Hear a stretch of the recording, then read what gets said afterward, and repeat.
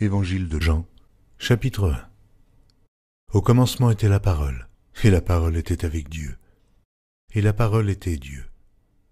Elle était au commencement avec Dieu, toutes choses ont été faites par elle, et rien de ce qui a été fait n'a été fait sans elle. En elle était la vie, et la vie était la lumière des hommes. La lumière luit dans les ténèbres, et les ténèbres ne l'ont point reçue. Il y eut un homme envoyé de Dieu, son nom était Jean. Il vint pour servir de témoin, pour rendre témoignage à la lumière, afin que tous crussent par lui. Il n'était pas la lumière, mais il parut pour rendre témoignage à la lumière. Cette lumière était la véritable lumière qui, en venant dans le monde, éclaire tout homme. Elle était dans le monde, et le monde a été fait par elle, et le monde ne l'a point connue. Elle est venue chez les siens, et les siens ne l'ont point reçue. Mais à tous ceux qui l'ont reçue, à ceux qui croient en son nom, elle a donné le pouvoir de devenir enfants de Dieu, lesquels sont nés non du sang, ni de la volonté de la chair, ni de la volonté de l'homme, mais de Dieu. Et la parole a été faite chair, et elle habitait parmi nous pleine de grâce et de vérité. Et nous avons contemplé sa gloire, une gloire comme la gloire du Fils unique venu du Père. Jean lui a rendu témoignage et s'est écrié, C'est celui dont j'ai dit, celui qui vient après moi m'a précédé, car il était avant moi. Et nous avons tous reçu de sa plénitude et grâce pour grâce, car la loi a été donnée par Moïse. La grâce et la vérité sont venues par Jésus-Christ. Personne n'a jamais vu Dieu. Le Fils unique qui est dans le sein du Père est celui qui l'a fait connaître. Voici le témoignage de Jean, lorsque les Juifs envoyèrent de Jérusalem des sacrificateurs et des Lévites pour lui demander Toi, qui es-tu? Il déclara, il ne le nia point, il déclara qu'il n'était pas le Christ. Et ils lui demandèrent Quoi donc? Es-tu Élie Et il dit Je ne le suis point. Es-tu le prophète? Et il répondit Non. Ils lui dirent alors Qui es-tu? Afin que nous donnions une réponse à ceux qui nous ont envoyés. Que dis-tu de toi-même? Moi, dit-il, je suis la voix de celui qui crie dans le désert. Aplanissez le chemin du Seigneur, comme a dit Esaïe, le prophète. Ceux qui avaient été envoyés étaient des pharisiens. Ils lui firent encore cette question. Pourquoi donc baptises-tu si tu n'es pas le Christ, ni Élie, ni le prophète? Jean leur répondit, Moi je baptise d'eau, mais au milieu de vous, il y a quelqu'un que vous ne connaissez pas, qui vient après moi. Je ne suis pas digne de délier la courroie de ses souliers. Ces choses se passèrent à Béthanie, au-delà du Jourdain, où Jean baptisait. Le lendemain, il vit Jésus venant à lui, et il dit, Voici l'agneau de Dieu, qui ôte le péché du monde.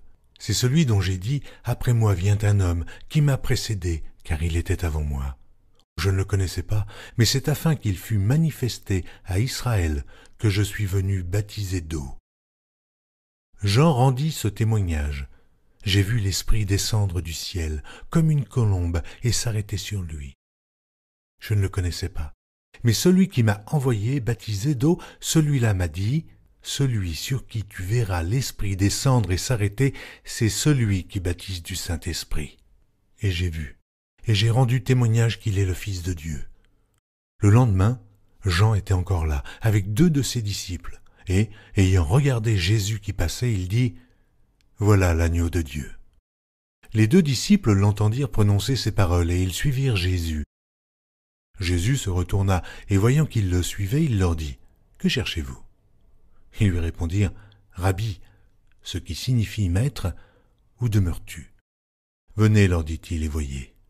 Ils allèrent et ils virent où il demeurait, et ils restèrent auprès de lui ce jour-là, c'était environ la dixième heure. André, frère de Simon-Pierre, était l'un des deux qui avait entendu les paroles de Jean et qui avait suivi Jésus. Ce fut lui qui rencontra le premier son frère, Simon, et il lui dit, Nous avons trouvé le Messie, ce qui signifie Christ. Et il le conduisit vers Jésus. Jésus, l'ayant regardé, dit, Tu es Simon, fils de Jonas tu seras appelé Céphas, ce qui signifie Pierre. Le lendemain, Jésus voulut se rendre en Galilée, et il rencontra Philippe. Il lui dit, Suis-moi. Philippe était de Bethsaïda, de la ville d'André et de Pierre. Philippe rencontra Nathanaël et lui dit, Nous avons trouvé celui de qui Moïse a écrit dans la loi et dont les prophètes ont parlé, Jésus de Nazareth, fils de Joseph. Nathanaël lui dit, Peut-il venir de Nazareth quelque chose de bon? Philippe lui répondit, Viens et vois. Jésus, voyant venir à lui Nathanaël, dit de lui, Voici vraiment un Israélite, dans lequel il n'y a point de fraude. D'où me connais-tu? lui dit Nathanaël. Jésus lui répondit, Avant que Philippe t'appelât quand tu étais sous le figuier, je t'ai vu. Nathanaël répondit et lui dit, Rabbi, tu es le Fils de Dieu, tu es le roi d'Israël. Jésus lui répondit, Parce que je t'ai dit que je t'ai vu sous le figuier, tu crois? Tu verras de plus grandes choses que celles-ci. Et lui dit, En vérité, en vérité vous verrez désormais le ciel ouvert et les anges de Dieu monter et descendre sur le Fils de l'homme.